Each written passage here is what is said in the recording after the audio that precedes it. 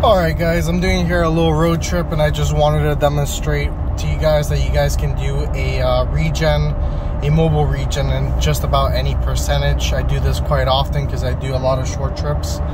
Um, so sorry for the video being shaking. Obviously I am driving right now, so I'll try to make this as uh, quick and easy to see as possible.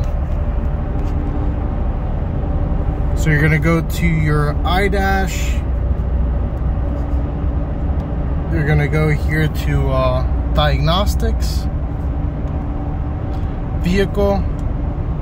You're gonna scroll down all the way to mobile regen and hit the arrow to enable. It says enabled. You back out. As you can see it is currently at 64 percent. So soon with the iDash is going to do is going to trick it into thinking that it's at 100% and it will start actuating the, the regen procedure. And this can take in anything about one minute to two minutes for it to start actuating. So we'll see how long it takes right now. Oh, it was super quick. So there you go, guys. Perfect example of how to do it on the iDash. Hope this helps somebody.